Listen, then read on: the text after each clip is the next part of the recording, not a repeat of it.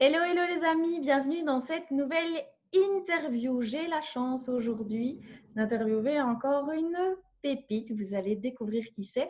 Mais avant, je m'appelle France Drion, je suis business coach, mais je suis aussi clarificatrice de projet. J'accompagne les porteurs de projets de cœur à le structurer, à l'aligner et surtout à passer à l'action. Et avec moi aujourd'hui, j'ai une accompagnatrice dans l'éveil spirituel ça va parler à beaucoup. Et aussi, elle l'accompagne dans la découverte de ses propres dons. J'ai la chance aujourd'hui, du coup, d'interviewer Kathleen Soubry. Bonjour Kathleen. Bonjour. Comment, tu vas? Fort bien et toi? Super bien. Je suis super contente d'être là. En tout cas, un tout grand merci déjà de m'avoir invitée ici. Euh, je suis très heureuse. je sens qu'on va passer un très bon moment. merci beaucoup. Merci à toi aussi d'avoir accepté. Alors avant d'aller plus loin, comme chaque intervenant, je vais te proposer de te présenter au travers d'une carte que j'ai pêchée avec cette intention justement que tu puisses te présenter. Et cette carte, c'est celle-ci. Je ne sais pas si tu la vois. Oh, excellent. Elle est magnifique. Ouais, je la vois très bien. Bon, moi, je vois tout de suite une clé. Mhm.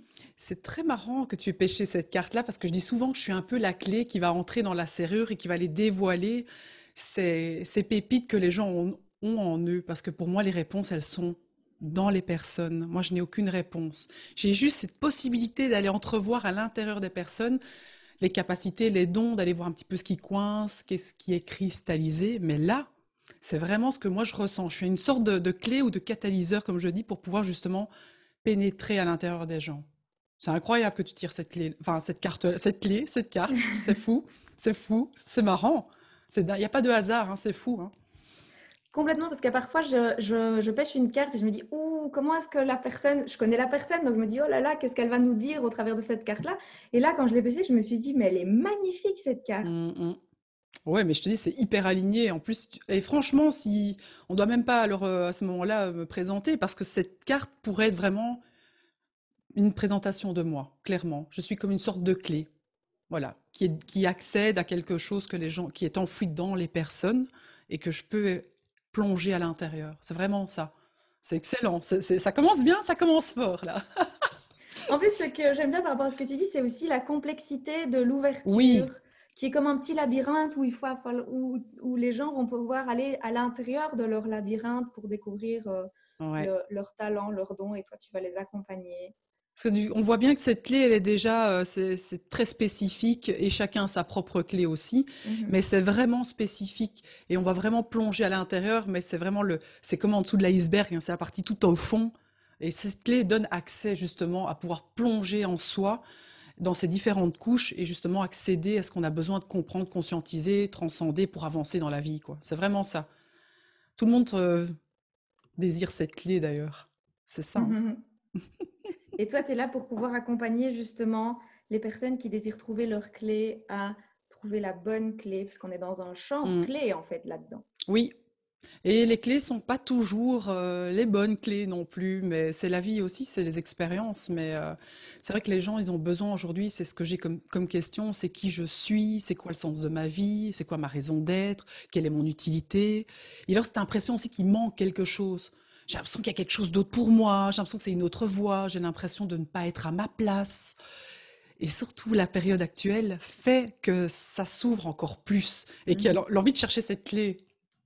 Mais c'est génial. Plus il y a de questions, plus il y a une envie de trouver les réponses et l'envie de chercher cette clé, en fait. Et c'est vrai que que ce soit pour toi ou dans l'accompagnement que je propose, qui bah, on a vraiment beaucoup de personnes. Toi, tu es plus dans je sens que c'est je sens que je suis plus à ma place et qu'il y a quelque chose d'autre mmh qui s'ouvre à moi. Et moi, j'ai beaucoup de clients qui sont là en me disant bah, moi, j'ai une idée. Comment est-ce que je peux maintenant la matérialiser, cette idée?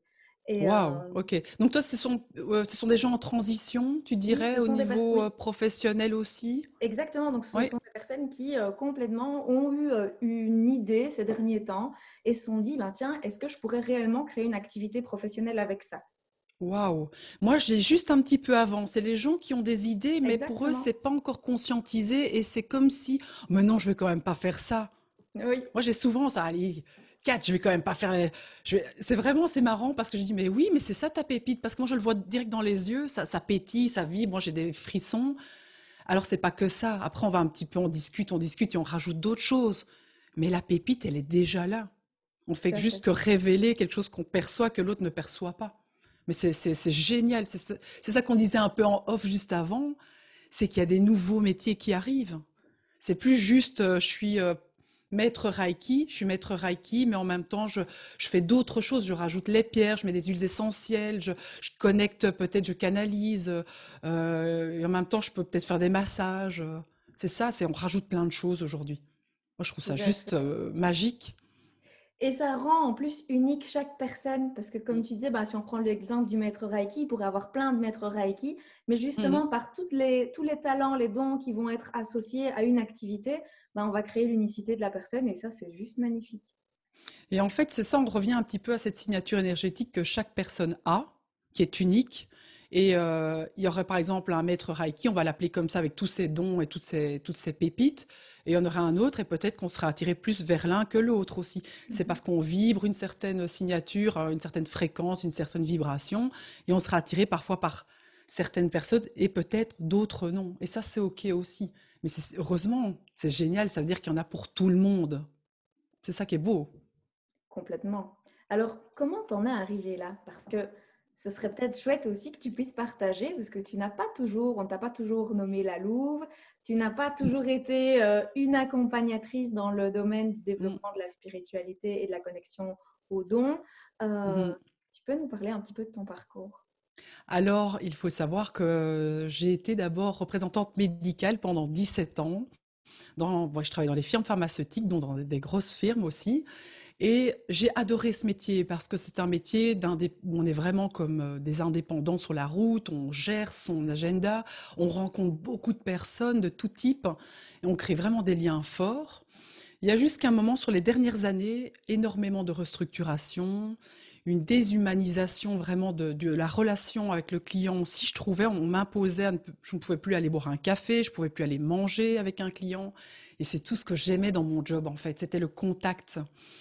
Et aussi, avec les restructurations, ben, on licencie les personnes. La façon qu'on les licenciait, c'est vraiment venu me briser à l'intérieur. Et j'ai perdu énormément de personnes à travers ces restructurations, mais de manière assez brutale. Jusqu'au jour, je, me souviens très très bien, où j'ai perdu euh, euh, deux amis proches. Euh, vraiment, pour moi, ça a été parce que c'était elle qui me tenait dans ce métier. Sur la fin, j'arrivais à tenir. C'était plus mon kiff, on va dire. Je sentais que j'ai je trouvais plus vraiment ma place. Mais je me disais, ben, comme elles sont là, en fait, je passe des bons moments. Mmh mais l'univers, il m'a offert en fait un joli cadeau, il me les a enlevés. Je me suis retrouvée à une réunion en me disant, mais qu'est-ce que je fous ici? Et avec une déshumanisation, une façon de parler qui manquait de valeur, qui correspondait plus du tout à qui j'étais. Et je voyais en même temps, tu sais, sur le mur, les valeurs de la société. Et en même temps, je voyais complètement quelque chose d'autre. Et là, j'arrivais plus à faire le lien. Et donc, il y a des fois, je me disais, je vais me mettre en mode avion là maintenant. Vraiment, hein, en mode avion. Et même à un moment, le mode avion, il n'arrivait plus. C'était comme si je prenais une conscience, je prenais conscience que, est-ce qu'ils ont vraiment dit ça là maintenant? Ça me parlait plus. Et je commençais à dénoter dans le décor aussi, parce que je commençais à parler, à oser dire ce que je ressentais. Et les gens me disaient, mais Kat, euh, qu'est-ce qui se passe euh? J'ai même eu quelqu'un qui m'a dit, on va te faire rentrer dans le cadre. Et là, je me suis dit, oula. Alors j'ai dit en rigolant, comme je mesure 1m90, 1m90 s'il y a des Français, ben moi, ça va être difficile de me faire rentrer dans le cadre hein, avec ma taille. Donc, tu vois, je pensais, je commençais déjà à venir dans une espèce de... Ça devenait un combat. Mmh. Et donc, euh, ben, le burn-out n'était pas loin non plus. J'ai vraiment été jusque-là.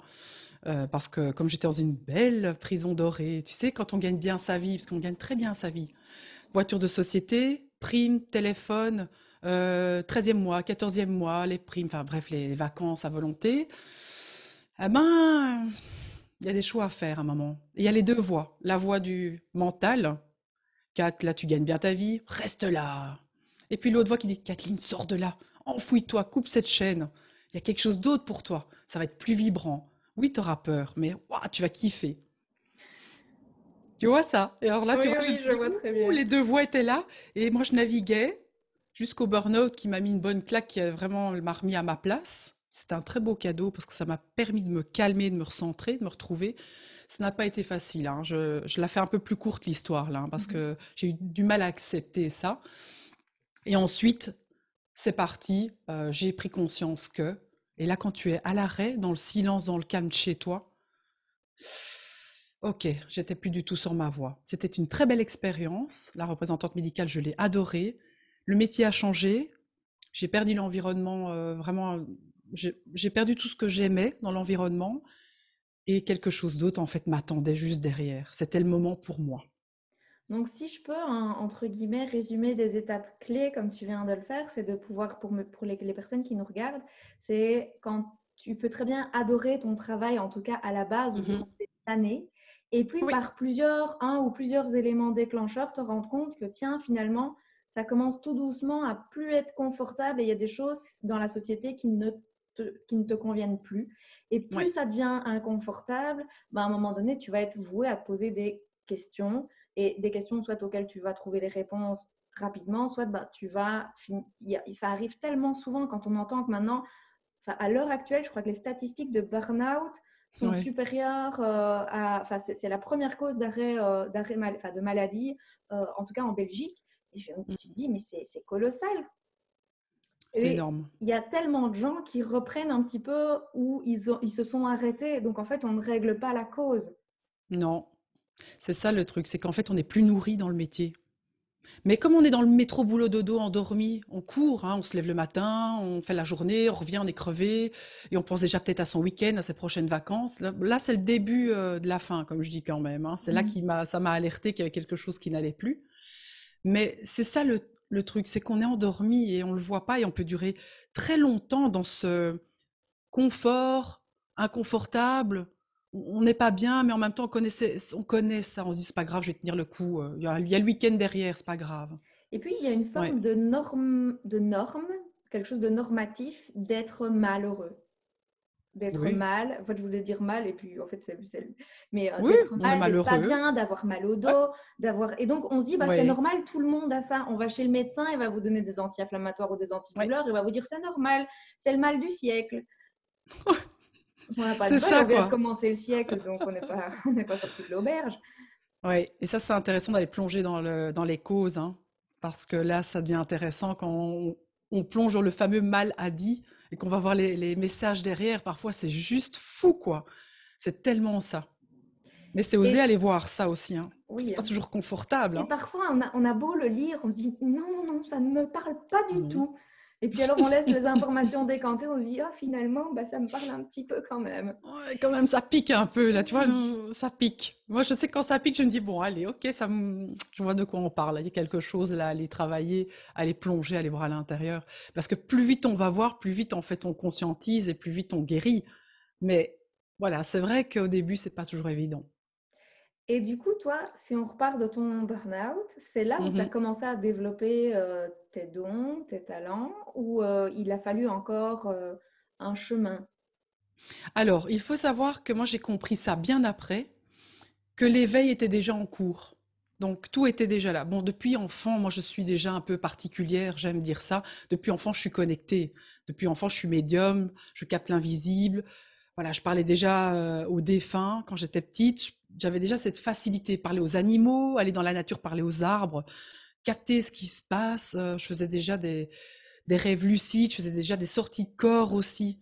Euh, rêve lucide, c'est quand tu peux modifier ton rêve parce que tu sais que tu rêves et en fait tu, conscientises plein de choses et tu modifies ton rêve. C'est juste euh, incroyable. Et la même chose que des sorties de corps, je sortais de chez moi, j'allais dans le jardin.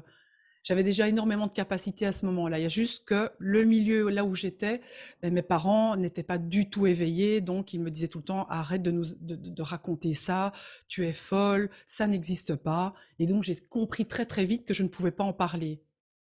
Donc j'ai dû mettre un moment un couvercle, mais je l'ai mis un peu plus tard parce que comme j'étais très attirée par le paranormal, par tout ça, j'avais déjà un pendule à 8 ans.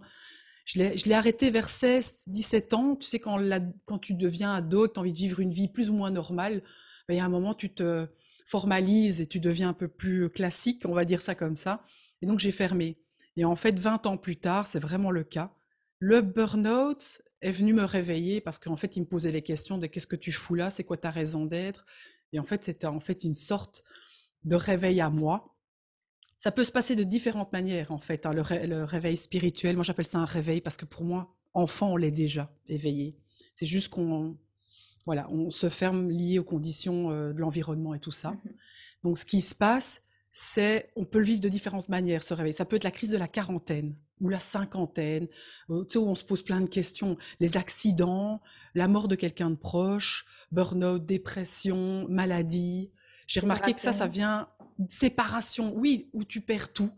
Euh, tu te sépares, tu perds la maison, tu perds ton boulot. C'est vraiment, tu sais, la claque qui vient te réveiller, te dire, wow, qu'est-ce qui se passe? Il se passe quelque chose, je suis peut-être plus à la juste place, mais ça, ça vient avec les questions. Mais ça doit se faire, c'est un peu moche, mais ça doit se faire dans une telle violence qu'on doit être arrêté dans notre métro boulot de dos. Parce que sinon, on peut continuer là-dedans. Et en plus, comme tu dis, on va se formaliser, c'est normal que je suis mal. Et ben, en plus, je me plains, c'est pas bien de se plaindre. J'ai quand même une belle vie, j'ai un mari, j'ai un chien, j'ai une belle maison. Et parce qu'on a, tendance à dire, tu vois, pour qui je suis pour me plaindre, tu sais, il y a des malheureux dans d'autres pays, euh, tu comprends, ben, je ne peux pas faire ça. Donc on reste toujours dans cette image, tout va bien, je vais bien. Donc il y a la fameuse claque qui vient réveiller. Bon, moi, ça a été le burn-out, l'ennui, euh, le bore-out, appelle ça de plein de manières différentes aussi. C'est surtout, mais qui j'étais, c'était le réveil à moi-même. Et donc, effectivement, il y a vraiment un moment spécifique, hein, je m'en souviendrai tout le temps, c'était en décembre 2017, je pense, où je me dis, il se passe quelque chose, je suis tellement mal que je regarde mon armoire pendant trois heures. Hein. Je te jure, moi, ça m'a fait flipper. Je l'ai dit à personne. J'ai regardé mon armoire trois heures et puis à un moment, il y a eu un déclic chez moi et je me suis réveillée à, ma vraie nature.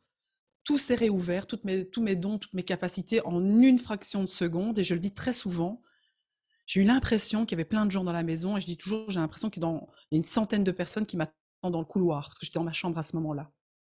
Ça fait très peur au début parce que je me dis, oula, qu'est-ce qui se passe? Et je redeviens folle parce que je reprends le programme d'avant, que je crois que je suis folle, parce que moi j'ai validé le programme que ma mère me disait que j'étais folle, que ça n'existait pas. Donc je me suis dit, mais non, tout ça, je me suis inventé, ces trucs-là, c'était pas possible.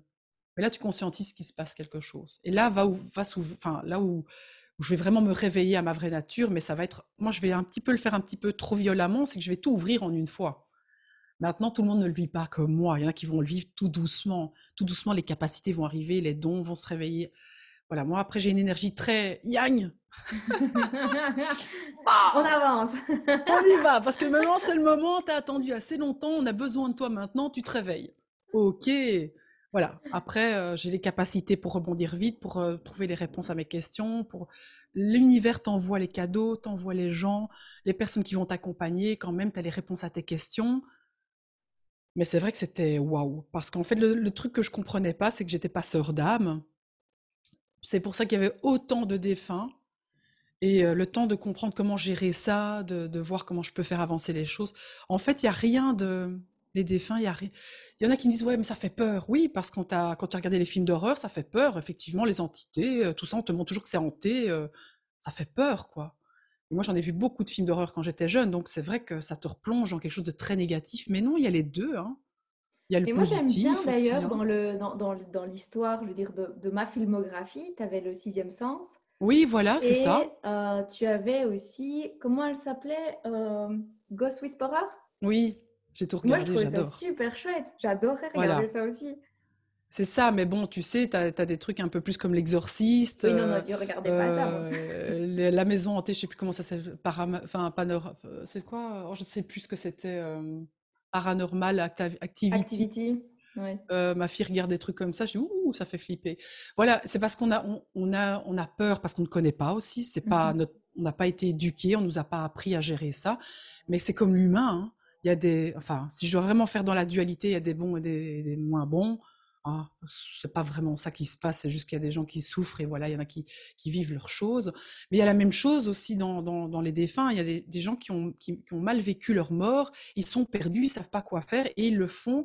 Parfois, ils font des bruits, ils font bouger des choses parce qu'en fait, c'est simplement pour dire je suis là, peux-tu peux m'aider? Mais au début, on a peur parce qu'on se dit qu'est-ce qui se passe ici? Il y a des bruits, euh, des choses qui bougent.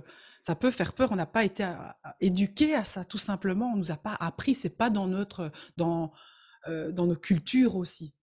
Par contre, tu as dans d'autres cultures où ils sont à l'aise. Hein. On se sent aussi impuissant. Enfin, moi, c'est comme ça. Oui, c'est ça.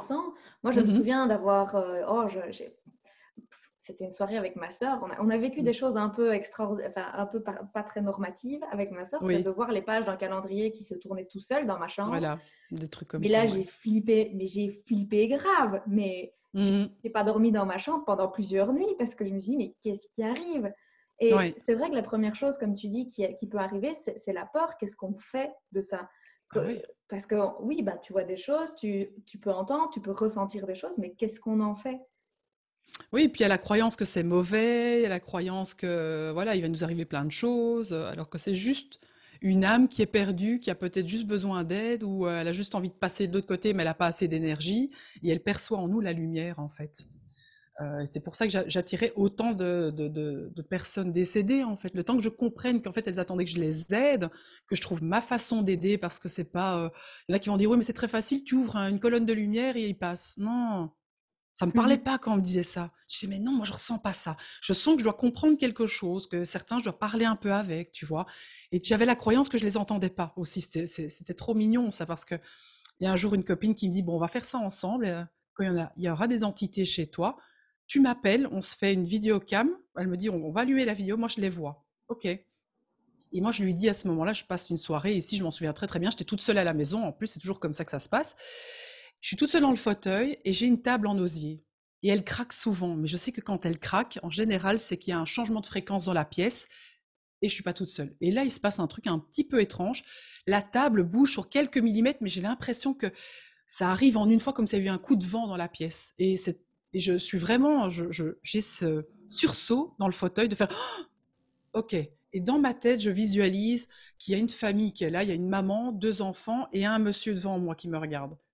Et dans ma tête, tu sais, il y, a ce côté un peu humain qui vient. Tu t'inventes des belles petites choses, n'importe quoi, comme s'il y avait. Euh, et en plus, tu ne les vois pas, toi, tu ne les entends pas. Qu'est-ce que tu racontes? Et l'autre côté qui me dit pourtant, je peux te le décrire. Le mec, il a une moustache. Je savais te le décrire. J'appelle ma copine. Elle me dit montre-moi. Et je lui montre simplement comme ça. Je lui dis rien parce que tu sais, je suis toujours un peu sceptique. Elle me dit oui, oui, je vois bien le monsieur avec la moustache là, il a des maux de ventre. Elle, elle, est encore plus loin dans les pathologies. Et elle me dit à gauche, tu as une famille avec deux enfants. Je dis oula, punaise, je les vois en fait, mais à l'intérieur de moi. Je comprends que c'est pas voir avec les yeux, c'est voir à l'intérieur de moi, c'est un flash. Et là, à ce moment-là, euh, elle me dit, voilà comment tu veux le vivre et tout. Et ce que j'ai ressenti, c'est que moi, je voulais les faire passer d'une certaine manière. Elle me dit, ben, fais à ta façon. Et puis, voilà, je les ai aidés. J'avais besoin de comprendre que lui, il n'était pas bien. Les parents, ben voilà, la maman, elle avait quelque chose à communiquer à ce monsieur-là. Et tout d'un coup, ils sont partis. Mais tu vois, voilà, j'ai dû le vivre dans l'expérience. Mais j'étais accompagnée, j'ai eu de la chance que j'ai rencontré quelqu'un à ce moment-là qui m'aidait, qui était médium et qui avait plus d'expérience que moi. Voilà, donc toi, c'est des petites étapes comme ça. À propos de ça, du coup, parce que j'avais adoré sur ton site internet, je te l'ai dit tout à l'heure, on trouve mmh. une, tu, partages euh, un moment de ta vie où tu, tu, es, tu es dans ton mastermind et euh, vous êtes David et toi euh, au milieu du centre et où vous partagez vos difficultés et où tu exprimes, mais moi, je suis frustrée. Est-ce qu'il y a une école de Poudlard qui existe Quelqu'un qui pourrait m'enseigner ce que je suis en train de vivre et du coup, je me dis, il y a tellement de personnes. D'ailleurs, ça m'a donné envie de regarder Harry Potter et de me rendre compte, bah tiens, il y a tellement de personnes qui vivent pas à la même échelle, pas de la même intensité, pas de la même manière, mmh mais qui, qui, vivent des choses complètement extraordinaires et qui savent pas quoi en faire, comment le faire, et qui ont pour certains envie de découvrir ce qu'il y a derrière. Et est-ce que c'est là où tu t'es dit, tiens, est-ce que je vais, je vais, je vais créer une, une, une formation, un accompagnement? Tu es en train de créer une école aussi ou tu as déjà créé ton école? Donc en fait, ce qui se passe, c'est que j'ai créé quelque chose que j'aurais aimé avoir, tout mmh simplement. Moi, j'étais frustrée quand tout s'est ouvert. J'étais frustrée, je me sentais seule. J'avais peur, j'avais peur de, ce qu'on pense de moi, euh, peur que la folle, que j'allais être folle, j'allais devenir folle, tu vois, parce qu'au début, tu te poses 100 et plein de, plein, plein de questions. C'est vraiment très troublant. Donc, en fait, c'est ça la frustration que j'ai communiquée dans cette vidéo, c'est que tu te sens perdu, tu vas sur Internet, tu trouves plein de choses, du dev perso, des livres, j'ai lu, hein. je crois que YouTube, je l'ai consommé, tu trouves différentes énergies, mais en fait, euh, waouh, c'était le, marasme, il y avait trop de choses, et en même temps, je ne trouvais pas la, ce qui me correspondait. Donc c'est ça que je communique à ce moment-là. C'est elle est où l'école des chamans quoi? Elle est où l'école des sorcières? Elle est où l'école des guérisseurs? Je sais, sais même pas comment l'appeler en fait à ce moment-là. J'en suis là même. Le truc c'est que moi, l'univers m'a m'a mis sur mon chemin le fait de devoir le vivre un peu plus dans l'expérience. C'est-à-dire que j'ai été aidée, mais de temps en temps, parce qu'il voulait que je vive différentes choses, que je comprenne tout le panel qu'on peut avoir de, questions. Et ensuite, le truc, c'est qu'effectivement, maintenant, ça va faire trois ans que, ça a été mis sur mon chemin. L'idée, en tout cas, elle a germé en moi que j'allais ouvrir mon école de Poudlard, mais je l'ai appelée l'école Nadji, c'est l'école de l'âme. En fait, Nadji, c'est en amérindien, c'est l'âme, parce que j'ai envie d'aider les gens à euh, les accompagner à vivre cet éveil de, de manière sereine, quoi, qu'ils soient sereins, euh, que ce soit pas stressant, qu'ils le vivent avec leurs énergies et avec leur façon, avec leur capacité, parce qu'on a, toutes et tous des manières différentes de le vivre et avec des dons différents, avec des perceptions différentes. Et c'est ça qui est important. C'est pas de simplement donner une voix. Ben, tu sais, quand tu es clairaudient, tu vas. Non, non, c'est. il y a différentes sortes de clairaudient aussi. Y a Tu vois, c'est ça qui est très important. C'est qu'il y a différentes choses et c'est de le, de le vivre avec ton unicité, ce mmh développement de tes dons, de ton éveil. Donc c'est ça pour moi que c'est important, c'est accompagner les gens euh, dans leur éveil et à développer leurs dons, aller plus loin, parce qu'il y a beaucoup de peur. Oui, et les entités, et les projections négatives, et les... il y en a qui vont parler qu'on va se faire voilà, vampiriser avec des entités négatives. C'est comment apprendre à vivre avec ces énergies, comment ne pas se faire happer simplement. Il y a, pour ça, il y a tout, des rituels. Le problème, c'est que quand tu es toujours dans la peur, tu bloques ton don et, à un moment ou un autre, il, va, il risque de se enfin, il continue à se développer d'une. Enfin, c'est comme ça que je le perçois. Tu, tu, me coupes si je me trompe. Il va continuer à se développer en sourdine et au moment où il va arriver, ça va être un peu comme toi, ça va être violent et parfois on n'a pas mm. tous les outils disponibles pour pouvoir euh, bah, gérer ce qu'on va, ce qu'on va recevoir.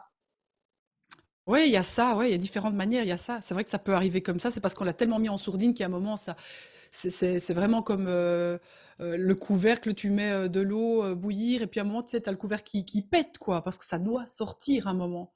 C'est ton moment, c'est un peu, on y va maintenant, arrête de te cacher ça, c'est là. Mais c'est là, ça devient très douloureux quand même, hein. c'est très, c'est un peu trop intense, quoi.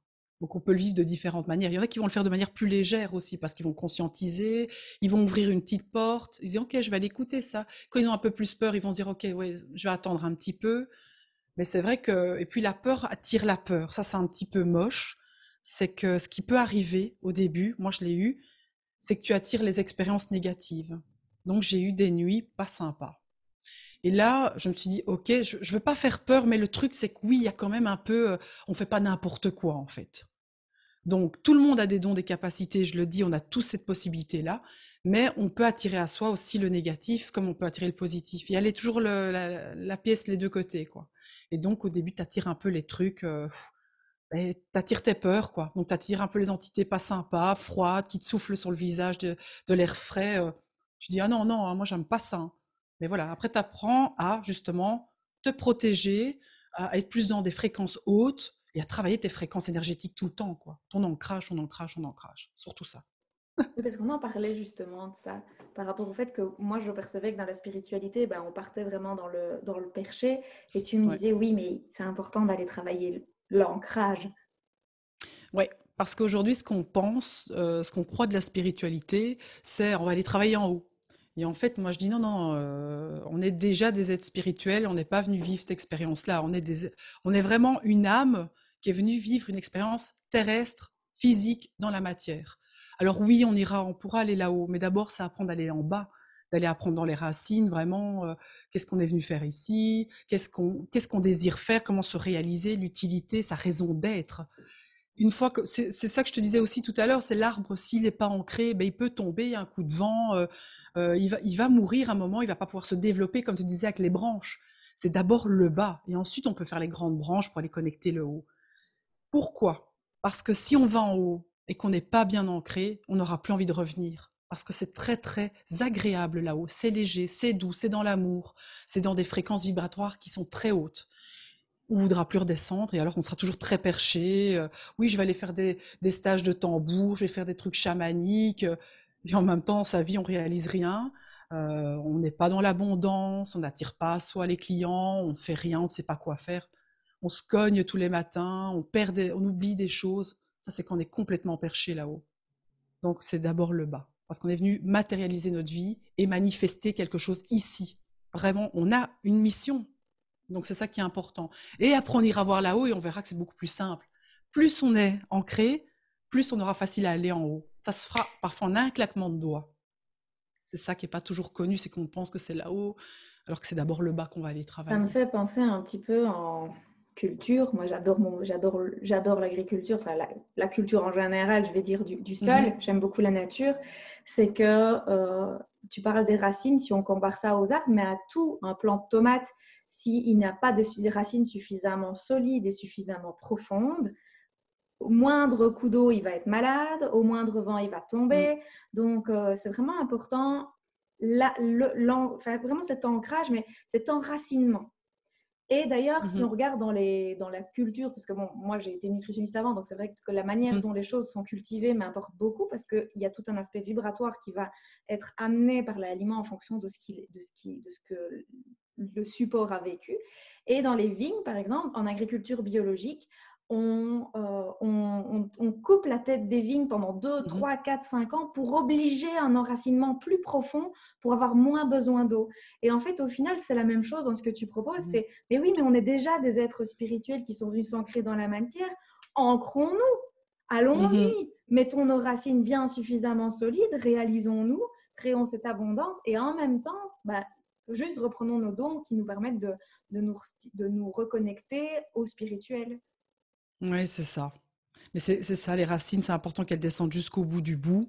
Et parfois, ça sera désagréable parce qu'on va les travailler, parce qu'on est venu travailler tout simplement, hein, nos blessures, on va aller travailler des programmes, mais on va voir qu'à chaque fois, on remonte en fait. Donc c'est vrai que moi, je compare souvent ça à un ascenseur. On a l'impression de, Ouais, c'est vraiment contraction, expansion, c'est un peu la vie, c'est les lois, les lois universelles de la vie aussi, hein, que tout est mouvement. Mais c'est vrai qu'on sent qu'on descend, on va travailler ça, voilà, qu'est-ce que je travaille, cette blessure-là, ok, je conscientise, on transcende, on avance. Et hop, on remonte. Et c'est vrai que, voilà, et parfois on va devoir aller tout au bout. Mais c'est là, c'est en bas qu'on arrive à puiser, hein, comme tu dis, les racines, c'est quoi les nutriments, c'est l'eau, c'est là qu'on puise euh, notre base, notre, fondation solide. Mmh c'est ça. Si on les a pas, on, on va être coupé de ça. Donc, au premier, à la première tempête, on va voler, euh, on va complètement euh, s'effondrer, quoi. Donc, c'est les fondations au départ. C'est vraiment très, très important, ça. c'est très, très bon, l'histoire de la vigne. Moi, j'aime bien, je vais la reprendre, celle-là. J'adore. Les vignes, elles peuvent devenir centenaires. Et donc, si on n'enracine pas suffisamment la vigne, elle va tenir 10, 15 ans. Ouais, c'est top, c'est vraiment, j'aime bien, moi, c'est on apprend de la nature. Hein. Moi, je suis très très fort à travailler dans les quatre règnes. Et le règne, euh, enfin vraiment tout ce qui est euh, euh, nature, ben, c'est elle qui nous montre comment on doit vivre, en fait, tout simplement. moi, j'aime bien aussi les animaux, suivre un petit peu comment vivent les animaux, leur énergie et tout ça. Mais c'est tellement riche d'expériences autour de nous. C'est là qu'on trouve vraiment les, les leçons c'est comme maintenant la période un petit peu, on sent qu'on ralentit, c'est l'automne, et en même temps la voix humaine qui nous dit vas-y, c'est la rentrée scolaire, on y va. et la nature, elle te dit on est sur les starting blocks, oui, c'est ça. on approche de l'automne, on prépare l'hibernation. Oui, c'est ça. Et tu vois les, arbres qui perdent leurs feuilles, les fleurs, elles commencent à moins pousser. On est plus avec les fruits aussi à la fin, les pommes, elles tombent. C'est l'abondance, on ramasse, c'est génial. On... C'est ça, c'est top aussi, mais euh, on est plus dans un ralentissement. Et, nous, l'humain, tu sais, on est toujours, on se croit au centre du monde. Oui, moi, je vais faire ça. On va, tu sais, on va tout éradiquer. On va éradiquer tous les virus. On va, voilà, on va tout, euh, on va changer le temps. Bientôt, on va faire pleuvoir quand on décide de faire pleuvoir. Wow, euh, j'aimerais bien qu'on revienne un petit peu. Euh, on est tous sur la terre avec cet équilibre à avoir entre nous, entre la nature, les animaux, les minéraux. C'est wow, on se calme, on revient au centre. Regarde à l'extérieur, quoi. Bah, Moi, j'aime bien. C'est aussi qu'on perçoit le fait que l'être humain est la clé dans un système, mais c'est pas vrai. L'être humain fait partie intégrante du système. Il est un élément. Il est une mm. goutte d'eau dans l'océan. Il n'est pas plus. C'est ça. Mais lui, il croit qu'il est l'océan. Oui. Et parfois, c'est bien de lui dire, bah, ici, la, période qui vient de se vivre, c'est un, moi je, l'appelle vraiment comme ça, un bon rappel à l'ordre, hein, mmh euh, que l'homme ne va pas décider. Le virus, il est là, eh ben, euh, il est là, quoi. Donc un tout petit virus nous a fait qu'on on est, on est confiné, on, enfin on a été confiné, on, est, on, a, peur de l'extérieur. Euh, voilà. Donc l'homme ne, ne contrôle pas tout, on n'est pas là pour tout contrôler non plus. Moi j'aime bien dire souvent que l'homme c'est un peu comme un C'est aussi un virus quelque part. Hein. C'est mmh aussi le virus parce qu'il attaque les poumons de la planète. Hein. C'est ce que fait le virus aussi quelque part. Hein. Il attaque les voies aériennes et c'est ce qu'on fait aussi avec notre propre planète aujourd'hui. C'est un peu conscientisé aujourd'hui. Hop, on revient. Et si tu regardes bien les gens aujourd'hui, on est plus dans le local, dans le bio. On essaie de, trouver autour de chez soi, de faire moins de déchets. Il y, a, une conscientisation de plein de choses au niveau environnemental, quoi, aussi de plus en plus. Prise de conscience. On parle de ça, j'avais trouvé ça génial. J'ai ma fille qui arrive un jour qui me dit Maman, si on avait moins de déchets, il n'y aurait pas le virus parce que la planète, elle n'aurait pas décidé de faire un virus parce qu'on on mm. pollue. Donc, si on pollue, bah, elle se défend et elle crée des virus. Donc, on va mettre des petites affichettes recyclables partout pour dire aux gens qu'il faut arrêter d'acheter des déchets. C'est génial. Les enfants, ils, hein. sont, ils sont waouh. Moi, mon fils, il voit un, un, sac plastique, il dit non, on ne prend pas de sac plastique. Nous, on est toujours avec. Euh, j'ai toujours mes, mes sacs. Euh. Oui, oui, c'est ça. J'ai toujours mes sacs euh, prévus réutilisables. Mais ils, ont, ils sont déjà tellement éveillés. ils me regardent, ils me font Pourquoi ils ont mis deux déchets tu sais, Il prend des collations dans un, dans un rayon. Il me dit Maman, ils ont été emballés, encore les biscuits. Je dis non, je prends pas ça, quoi. Tant pis, on fera les biscuits nous-mêmes. Mais c'est waouh, c'est beau comme eux, ils sont déjà vachement plus éveillés. Nous, on est encore beaucoup dans les programmes de. Nous, on trouve ça normal que dans le jambon, il y a du nitrite de sodium mmh. pour qu'il soit rose et joli. Et moi, mon fils, l'autre fois, il prend le jambon, il dit Oh, ok, il n'y a pas de nitrite de sodium. Ben, J'espère bien, il me dit. Parce que c'est vrai qu'il est déjà très éveillé euh, par rapport aux compositions. Je fais attention un peu à ce qu'on achète. Mais je dis, mais c'est dingue, ben, j'espère bien qu'il n'y a pas de nitrite de sodium dans mon jambon. C'est devenu, devenu du marketing maintenant. Il n'y a pas d'huile de palme, il n'y a pas trop de sucre. Mais j'espère bien, c'est ce que j'aurais aimé avoir de base déjà. C'est naturel. Mais as vu comment on est conditionné euh, Enfin, c'est fou, quoi. Oui, parce que maintenant, c'est devenu un argument de vente, alors qu'avant, c'était censé être une norme c'est juste normal, quoi. C'est comme euh, l'élevage intensif, pour moi, c'est une aberration. Mais bon, voilà, après, euh, c'est juste que moi, je ne peux plus aujourd'hui consommer de cette manière-là. J'ai besoin d'aller dans des plus, des plus petites choses où il y a aussi euh, de la conscience animale lors de l'abattage et tout ça. Alors qu'on mange des animaux, je suis pas contre. Parce qu'il y en a qui me disent, ouais, mais c'est parce que toi, tu deviens végétarienne et tout ça. oui, parce que je ressens trop. Mais on mange cette souffrance animale quand elle décède, la façon qu'on tue nos animaux aujourd'hui cet animal souffre et on mange cette souffrance. Donc pour moi, c'est juste conscientiser qu'il y a quelque chose qui n'est pas juste. Si tu regardes un petit peu les chamans en Mongolie, ils ont des troupeaux d'animaux, ils mangent les animaux, ils mangent de la viande tout le temps, mais il y a un respect de l'animal, il y a un rituel. Merci pour la vie que tu m'offres. Merci. Et je vais utiliser toutes les parties. tout ce qu'ils utilisent, enfin, ils utilisent toute la enfin, toutes les parties de l'animal aussi. Il y a un respect dans ça tu vois, la peau pour faire les vêtements, euh, la graisse, euh, tout est utilisé. Enfin, tu vois, c'est juste un petit peu de conscience sur ce qu'on fait, parce que ici aujourd'hui, j'ai l'impression qu'on, ça, devient ridicule quand tu vois les, je sais pas si tu as déjà vu ça, les, veaux là qui sont dans des petites cages, euh, tu vois un champ de, cages, tu dis mais attends, je mange du veau quoi. Mmh c'est voilà, c'est quelque chose que moi je conscientise qui est compliqué pour moi aujourd'hui. D'ailleurs, j'ai plus envie quoi. Parce qu'il n'y a pas un respect. ce qui se passe, c'est que l'important, c'est de rester toujours aligné avec ce qu'on ressent. C'est ça. Moi, c'est clair que quand j'ai déménagé ici, il y a un an, euh, bah, le magasin bio le plus proche, c'est un Bioplanète, c'est-à-dire que ça fait partie du groupe Colruyt.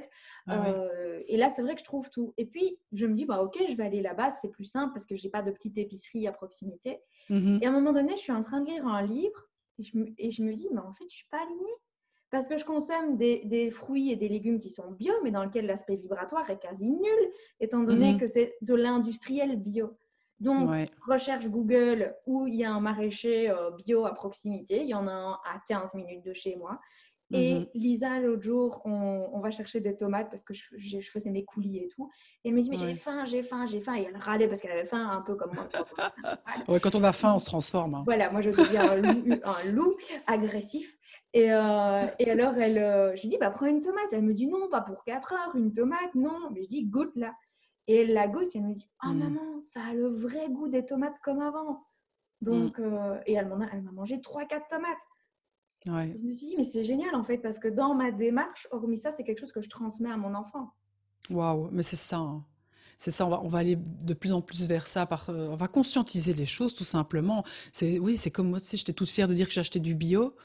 Puis à un moment, je regarde, euh, d'où il vient ce bio. Ah, du Maroc. Et puis tu te renseignes, en fait, le Maroc n'ont pas les mêmes listes euh, de produits euh, chimiques. En fait, eux, ils peuvent quasi mettre tout. Et là, tu dis, wow. Et en plus, tu réfléchis. Maroc, donc, il y a le transport.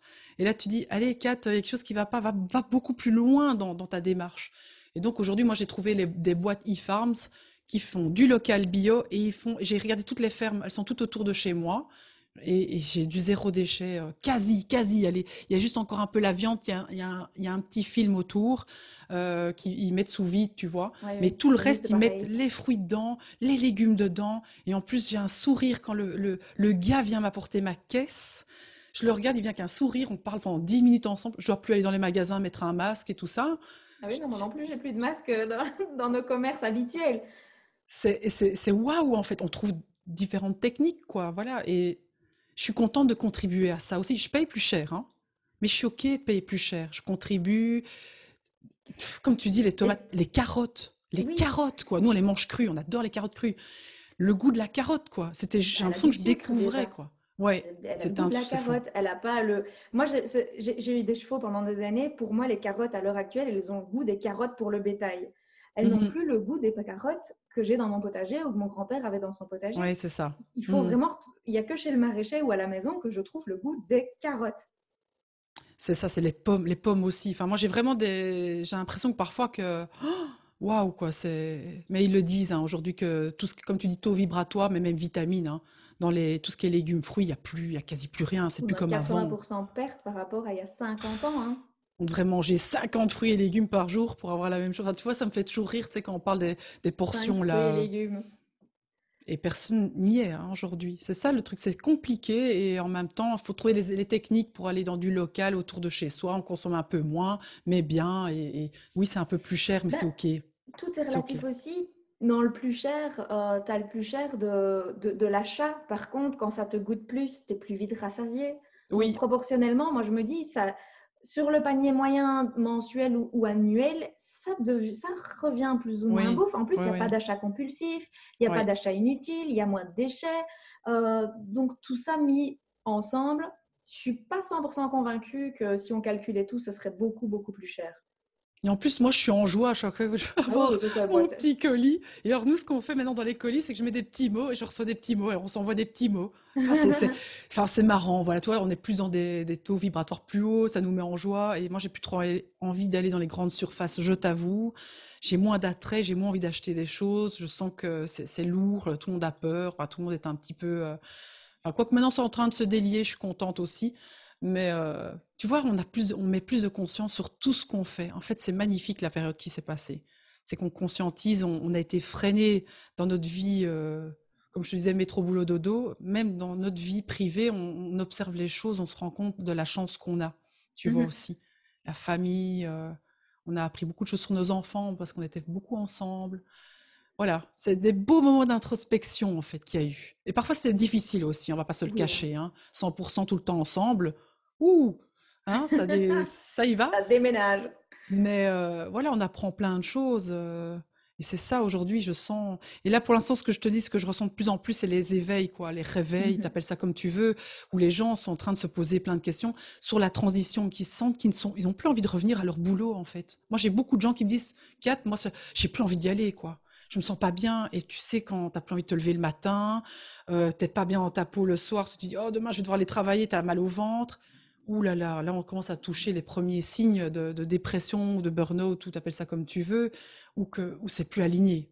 Et dans les, chez les femmes, tu as le typique de, du grignotage quand on rend du travail, du oh, grignotage compulsif pour un petit mmh. peu euh, se remplir de quelque chose d'agréable, de, entre guillemets, euh, par rapport au fait qu'on a passé une journée à faire des choses qui, nous, qui ne nous nourrissent pas. Oui, qui nous ont pris de l'énergie, qui nous ont, bouffé littéralement, on est vidé et on a envie de se remplir de vide quelque chose pour ne mmh pas aller voir ce vide en fait. Hein. Tout à fait. Et, c'est vrai que c'est le mal-être. Il y en a qui pensent qu'à leurs vacances, leur week-end, il y en a qui me parlent que de ça, quoi. Et je me dis, waouh, c'est pas ça la vie. Ou ta pension. Il y en a qui m'ont dit, oui, mais dans deux ans, je suis en pension. Euh, ou alors parce que je ne sais rien faire d'autre. Waouh Ça, c'est la croyance que j'ai souvent aussi. Les personnes, tu sais, un peu 60 ans. Oui, c'est fini pour moi. C'est fini pour moi. Euh, je sais rien faire d'autre. Et en fait, tu grattes un peu. les pépites qui se cachent derrière. Moi, j'adore faire ça. Ça, c'est mon truc qui me fait kiffer, c'est quand tu grattes un peu, là. Ou alors tu mets la clé, hein, c'est vraiment, on va repartir de ta clé. Tu tournes et tu fais, waouh, ça illumine tellement, c'est fort, il y en a plein, il y en a plein. Je dis, oh, là, je kiffe, quoi, ma vie, parce que on va aller révéler ça ensemble.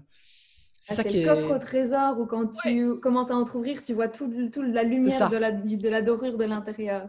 Oui, et la personne, elle te dit, oui, mais ça, tu sais, c'est normal, je fais ça depuis toujours. oui, ça c'est classique. Mais ça, il n'y a pas d'âge. Hein. Ça, c'est classique chez tout le monde. De pas mettre de la valeur sur ses, sur ses talents, sur ses dons. Et en plus, c'est des pépites de, de, Mais vraiment juste, waouh C'est justement, tout le monde ne fait pas ça. Et quand tu viens dire ça à la personne, elle commence à pleurer, à vibrer devant toi. Et tu dis, «Ah, ça y est, j'ai touché l'âme. L'âme va enfin se manifester mmh maintenant. Et quand l'âme commence à vouloir parler, plus jamais on l'éteint. La petite voix, elle est tout le temps là. Hein. Vas-y, vas-y, fais ça, fais ça. Vas-y, lance-toi. T'as 65 ans et alors? C'est bon, continue. Est-ce qu'on a vraiment envie d'être euh, à la pension, plus rien faire chez soi euh? Non, je pense que. Euh, s'ennuyer. Oui. Oh là là. Le burn-out du pensionné. Oui, ouais, mais ça c'est triste à dire, mais j'ai pas mal de, retours là-dessus justement où on se dit ça y est, j'ai attendu, hop, on ralentit les mouvements, on bouge plus, on reste chez soi. Au niveau des, des neurones, on ne fait plus travailler quoi que ce soit, et là, c'est la descente c'est ça, c'est un peu moche, quoi. Alors que non, je pense que dans l'énergie que moi je ressens aujourd'hui, on va faire d'autres choses. On aura peut-être un potager euh, collectif, on va travailler ensemble, on aura peut-être euh, de la poterie, on ira faire de la poterie. Peut-être qu'on fera euh, coach de transition de vie parce qu'on a une certaine sagesse, justement, 65 ans, 70 ans, ils ont les connaissances parce qu'ils ont peut-être vécu ça dans leur, leur ancien métier. Je pense que justement, il y a plein de pépites aussi derrière ça. Et on oublie mais, et puis, on a une norme qui est la pension, on arrête de travailler, on profite de la vie. Moi, j'ai un exemple qui est un de mes oncles, qui, euh, lui, il a toujours profité de la vie. Il a 78 ans, donc 78 ans. Et, euh, et c'est maintenant qu'il commence à ralentir parce que le corps physique fait que ça devient un peu plus difficile. Mais il dit, moi, je n'ai, jamais eu l'impression que je travaillais. Ouais, c'est et, ça. Et il s'est toujours réinventé quand il sentait que c'était plus juste pour lui. Et je trouve que, pour moi, en tout cas, il, il est un de mes mentors par rapport à, ce point-là, cet aspect-là dans sa vie, en tout cas. Mais moi, c'est ça en fait. Hein. La clé, elle est là. Hein. C'est de se dire que tous les jours, on se réveille avec la banane, on a envie d'y aller. En fait, on travaille pas. Moi, je vis de ma passion aujourd'hui. Hein. Moi, je me lève le matin, je fais Waouh, qu'est-ce que j'ai dans mon agenda? Après, moi, je suis quelqu'un qui est flexible, qui a besoin d'avoir différentes choses dans son agenda. C'est-à-dire, une interview avec toi, génial, je vais avoir un échange, j'adore. Puis je vais avoir une lecture d'âme, et puis je vais avoir l'accompagnement. Euh, tu vois, donc j'ai des choses différentes. Moi, j'adore de me dire, allez, ce matin, j'ai ça, génial, j'ai mes petits rituels du matin, j'ai mes enfants, je vais les conduire à l'école, on met de la musique dans la voiture. Je me dis pas, allez, bon, maintenant je vais travailler, ça va être lourd, quoi. Oui, oh, quelle heure il est? Oh, il est que ça. Non, moi, je vois pas mes journées passer. Hein. Je dis, punaise, il est déjà cette heure-là, oh là là, euh, waouh, allez, c'est ok, on y va, je suis au taquet, je rencontre des gens juste magnifiques, j'apprends tous les jours, parce que c'est pas parce que j'accompagne des gens que j'apprends pas en retour, c'est vraiment un donner-recevoir, et c'est ça qui m'anime. Et je pense que je vais jamais arrêter ça. Je vais évoluer, ça c'est sûr, je ferai peut-être d'autres choses, mais je vais jamais arrêter ça. Je n'ai pas envie d'arriver à ma pension. Et puis, je crois aujourd'hui qu'aujourd'hui, la pension, c'est un mythe, parce que je pense qu'il y a plus d'argent aussi dans les caisses. Hein, je ne veux pas faire peur aux gens. Mais euh, je pense qu'aujourd'hui, la pension, c'est un mythe. C'est, je pense que l'idéal, c'est de trouver ce qui nous fait kiffer, vibrer, et on avance pas à pas. Tout à fait. Et peut-être qu'on va ralentir. Hein. C'est vrai qu'en 70 ans, je vais peut-être plus euh, courir dans tous les sens comme je fais maintenant. je ferai un autre rythme. Les seront différents à ce moment. Mais oui, on évolue.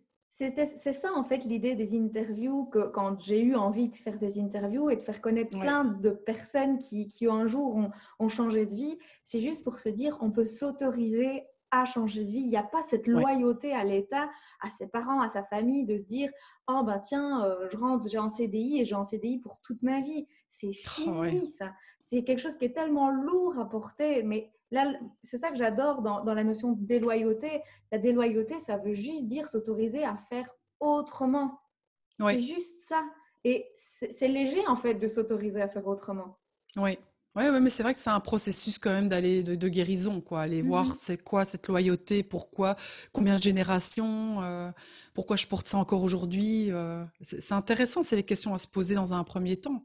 Après, quand on se libère de ça, c'est waouh, on y va. Moi, je le vois dans la loyauté, par exemple, par rapport à mon père, qui lui est très dans la sécurité, le besoin de sécurité, où un jour, il nous a dit à ma soeur et à moi, mais qu'est-ce que j'ai raté dans votre éducation? Et de dire, est-ce que tu imagines qu'il met la, mmh. la, il met la sécurité avant de savoir que ses enfants sont heureux. Alors que, que ce soit Pauline ou moi, on adore ce qu'on fait, on a une vie qu'on kiffe vraiment. Et lui, mm-hmm. ben non, il préférait pour nous qu'on soit dans un métro boulot dodo à, à s'éteindre. Oui, mais c'est parce que c'est rassurant, l'argent rentre, c'est euh, voilà. Euh, après, euh, l'argent rentre aussi dans notre job de passion. Ah ben c'est juste que c'est peut-être moins la somme, on ne sait pas. Parfois c'est un peu plus, parfois c'est un peu moins. C'est donner, recevoir, ça sort, ça rentre, et en fait tout se passe bien. Ce n'est que de l'énergie en fait. Mais la sécurité, c'est une notion très importante. Hein. C'est ce que j'entends très régulièrement. Je peux pas quitter mon emploi parce que c'est ma sécurité, parce que j'ai encore une fille qui est à l'université, je dois payer. Et à un moment, c'est de s'autoriser, de se dire, mais tu vas vivre de ta passion et tu vas être rémunéré pour ça. C'est OK l'argent, tu as le droit de gagner de l'argent. C'est aller revoir un petit peu les notions de l'argent, voilà, qu'est-ce qu'on y met derrière aussi. Il y a plein de choses, hein, mais c'est, tu y as droit. Et en plus, quand tu es aligné, c'est génial. Tu vas voir que tout se passe bien, c'est fluide, que justement les clients vont arriver. Moi, quand je suis passée de représentant médical à guérisseur. Euh, je crois que je me suis dit, j'étais en femme médecine. Tu sais, tous les termes qu'on a utilisés, c'était pas encore très clair au début pour moi, parce que j'ai dû réunir toutes mes parts. Eh ben, je me dis, qu'est-ce que moi j'ai envie de faire? C'est quoi? J'ai envie d'accompagner les gens de manière individuelle, justement, dans ce changement, dans cette transition, dans cet éveil. J'ai ouvert 15 places et je me suis dit, je ne suis pas connue, ce n'est pas grave, j'y vais avec mon cœur. En deux jours, j'ai rempli mes 15 places. David, il m'a dit, mais comment ça se fait? Tu viens à peine commencer parce que je vibrais, j'étais dans, j'étais dans, j'étais alignée à ce que je voulais faire. J'ai fait un deuxième truc. J'ai ouvert aussi une cohorte d'accompagnement de groupe. J'y croyais pas du tout. J'avais pas envie de faire ça au début. Bah, j'ai rien rempli du tout. Ah! Tu vois, donc c'est vraiment pour te montrer, c'est qu'aller voir dans son cœur, qu'est-ce que je veux moi aujourd'hui. Et on s'enlève tout. Hein. On prend la baguette magique. Je dis, qu'est-ce que j'ai envie euh?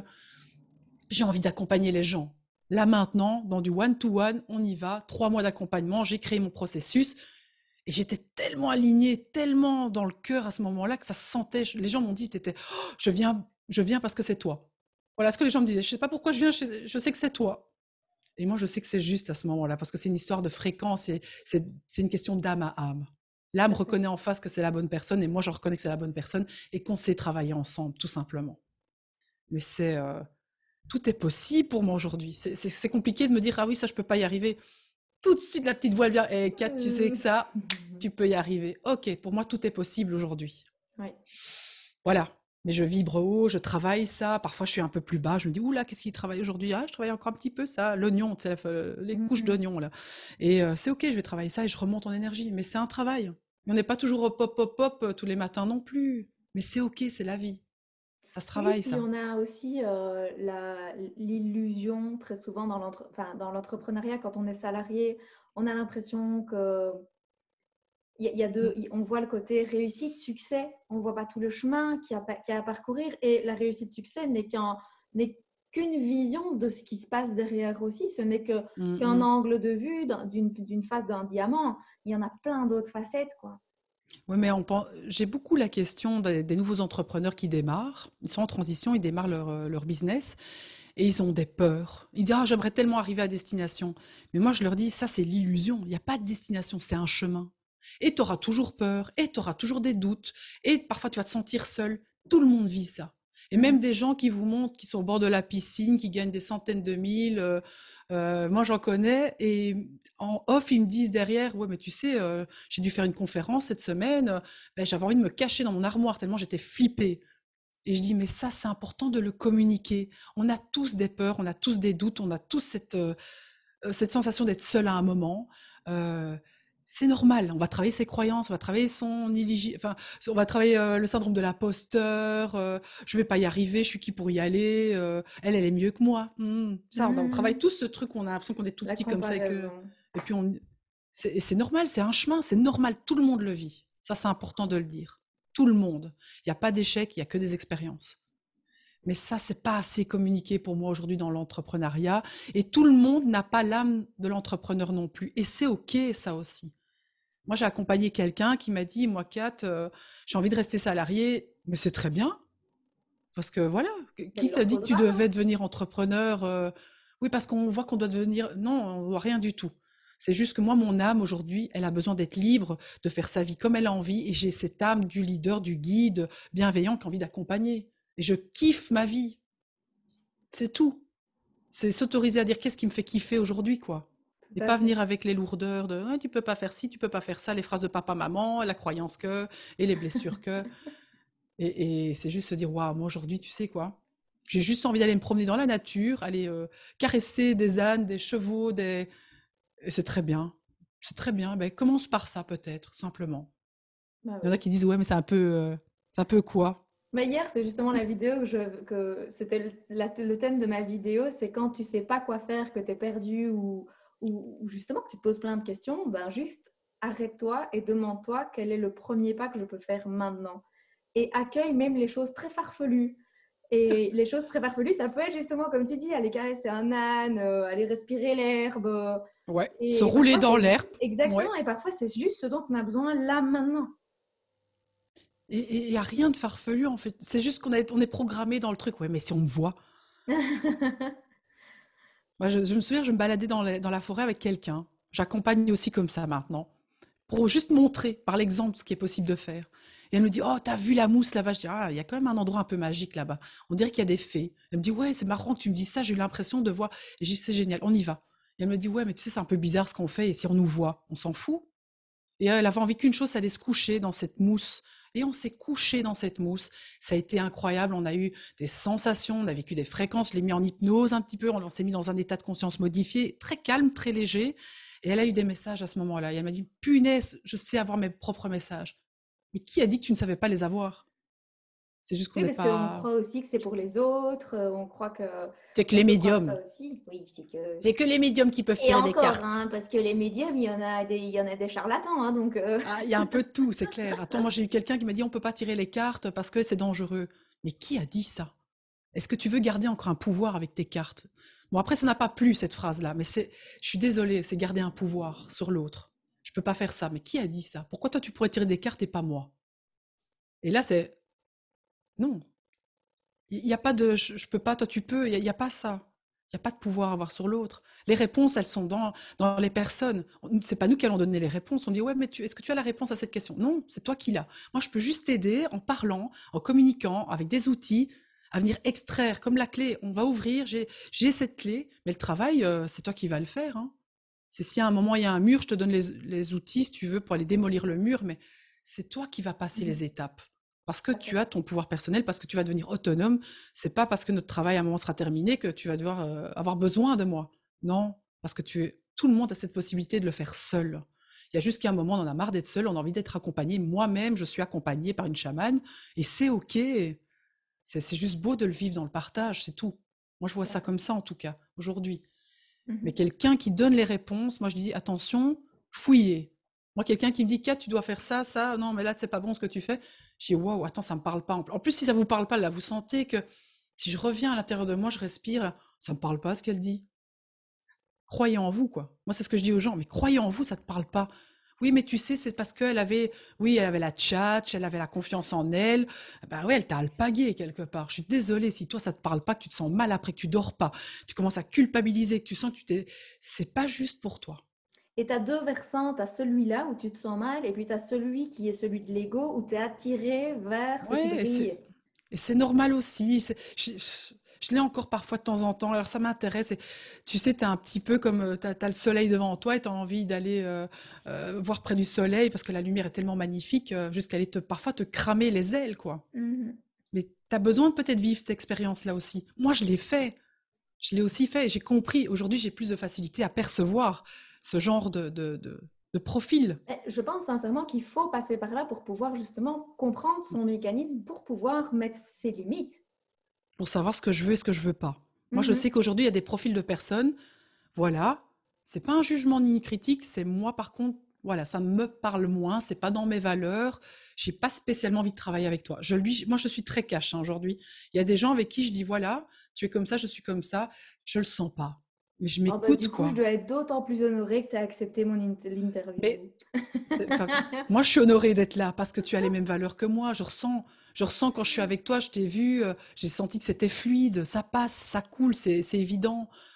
Il y a d'autres personnes, j'ai moins ça, mais je suis pas en train de me dire, ouais, c'est pas bien, elle, elle, est bien, moi je suis bien. Non, il y a, y a pour tout. Il y a tous les styles. Il y a mmh juste que moi, aujourd'hui, je me choisis et je m'offre ce cadeau-là de ne pas m'obliger à faire des choses que je n'ai pas envie. C'est tout. Parce qu'après, je sens que c'est pas aligné. Je sens que ah, j'aurais pas dû accepter. Je le sens pas. Euh, c'est tout. C'est juste que j'accepte aussi ça. J'accueille ça. Et ça ne plaira peut-être pas à tout le monde, mais c'est pas grave. On vit pour soi dans un premier temps. C'est important d'aller voir chez soi hein, d'abord. Mais c'est un beau, mais c'est une belle autorisation que tu donnes aux gens là. C'est comme ça. c'est pas facile, hein. Oui, je, sais que c'est pas facile. Je vois que les gens. Euh, ouais, ouais.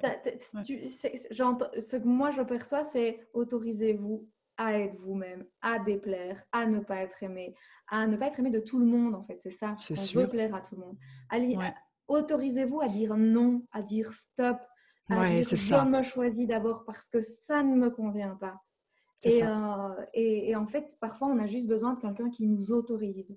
Et voilà, mmh tu, tu viens de, de, le faire aussi pour certaines personnes, en tout cas aujourd'hui. Merci. Aujourd'hui, c'est primordial, en tout cas. Moi, si je dois vraiment donner un conseil aujourd'hui, un seul conseil, c'est ça, c'est je me choisis et c'est pas égoïste. C'est juste que si vous êtes vidé, si votre, votre contenant est vide, vous ne serez rien donné. Mmh et ça, c'est important parfois parce qu'il y a des gens, ils vont vous mettre une pression. S'il te plaît, viens m'aider parce que je vais pas bien. Et vous aidez toujours les mêmes personnes qui ne vont pas bien. Et vous-même, vous, n'êtes pas bien. C'est pas juste pour vous. Moi, c'est ce que je dis souvent aux gens. Est-ce que c'était juste pour toi à ce moment-là? Mais moi, je l'ai vécu. C'est facile pour moi d'en parler parce que j'ai fait tout ça. J'étais dans le rôle de la sauveuse à un moment. Ah oui, j'arrive parce que moi, j'ai plein d'énergie. Ben, Kathleen, elle est jamais vide. Je m'inventais des trucs comme ça, jusqu'à me retrouver dans mon lit, avoir des décharges énergétiques dans mon corps, des trucs que j'ai vécu. D'ailleurs, David, enfin mon mari, il pensait que je faisais un AVC dans le lit. Et je lui disais, non, non, j'ai juste trop déconné, j'ai fait un soin que je ne devais pas faire et j'avais des décharges comme ça, il me regardait. c'est vrai que c'était, impressionnant. Et là, je me suis dit, ok, Kathleen, tu viens de vivre une très belle expérience. Merci l'univers pour ce beau cadeau, mais je souffrais bien dans mon corps. J'ai pas dormi toute la nuit. Je me dis, ça, plus jamais. Si je m'étais écoutée, à ce moment-là, j'aurais dû dire, non, ce soir, ce ne sera pas possible. À un autre moment, je reviendrai vers toi. Elle comprend, elle comprend pas. C'est pas notre problème. C'est ce qu'elle vit elle. Ce sera un truc qu'elle travaillera elle. Voilà. J'ai une petite dernière question. Si tu devais conseiller une lecture qui, pour toi, euh, je vais, la première chose qui me vient, c'est a pu changer, a changé ta vie ou en tout cas t'a aidé sur ton chemin. Euh, ce serait quoi que tu conseillerais comme lecture? Alors moi j'en ai beaucoup. C'est ça qui est très compliqué, c'est que j'adore la lecture. Euh... Sauf que tu mets, euh, il y a beaucoup de pression, tu vois, c'est a changé ta vie? Ah, il y en a plusieurs qui m'ont vraiment changé. Bon, et tu sais, il y a une lecture très simple que beaucoup de gens connaissent, c'est Réveiller les chamans qui est en vous de Arnaud Rioux. Ça m'a déjà amené énormément de réponses sur qui j'étais parce qu'il y a vraiment une grosse partie euh, j'ai l'impression que c'est de moi qui parle. Je vois qu'on a vraiment quelque chose d'assez similaire euh, et chacun va retrouver un peu chez soi. Euh, justement, on va pouvoir faire des, transpositions. Je sais pas comment tu veux appeler ça. Voilà, tu peux vraiment voir que ça, parle. J'en ai lu un dernièrement euh, qui m'a beaucoup parlé, qui est un peu plus particulier. oh là là là là, parce que moi là, tu me demandes les titres. Bah, c'est déjà bien celui d'Arnaud Rioux. Après, si tu te souviens du deuxième, même par la suite, tu pourrais me, je pourrais le mettre en dessous. Oui, c'est de Canon Dorothy. Je crois que c'est la nouvelle vague. J'irai voir. Où elle parle qu'elle met dans, dans, elle met les gens dans des états de conscience modifiés. Elle a une technique bien à elle. Elle est décédée aujourd'hui, hein, mais elle a, cet, enseignement est encore en cours. Et elle parle effectivement que les gens ont vécu d'autres vies et des vies d'extraterrestres. Et j'avoue, que moi, c'est venu euh, réveiller une part chez moi que j'avais besoin d'ouvrir parce qu'aujourd'hui, dans certains, il y a certaines fois où quand je fais de l'hypnose aussi régressive, ben, je tombe sur des personnes qui ont vécu des vies d'extraterrestres. Et heureusement que j'avais lu ce livre avant, parce que je pense qu'à ce moment-là, j'aurais un petit peu déjanté, mon mental m'aurait dit, euh, qu'est-ce qui se passe dans, dans cette hypnose régressive ici? Euh, Mais comme je l'avais vu et lu avant que euh, c'est exactement les mêmes récits qu'on m'a donnés. Je me suis sentie à l'aise pendant cette séance de me dire, OK, c'est bon, ça me parle et c'est OK. Voilà, c'est juste le truc vraiment, euh, je, te donnerai le titre exact si tu veux.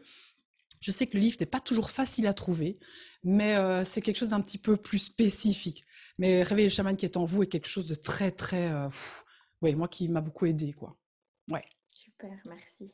Merci à toi. Un tout, tout grand merci pour le temps que tu nous as loué pour cet échange. J'ai vraiment Merci à toi en tout cas. Merci pour cet échange, merci pour cette, euh, cette confiance aussi que, que tu me donnes, euh, pour cet échange de cœur à cœur. Ça me fait vraiment très, très plaisir. Merci à toi. Avec plaisir. N'hésitez pas à regarder les autres vidéos, sur, euh, que ce soit sur YouTube, que ce soit sur Facebook, les autres interviews. Je mets tous les liens euh, en dessous, que ce soit pour le livre, que ce soit pour l'école de Kathleen, son site internet aussi où vous pouvez le retrouver. Euh, je vous souhaite de passer une excellente journée. Pensez à liker et à partager cette vidéo. À très bientôt. Ciao. Au revoir.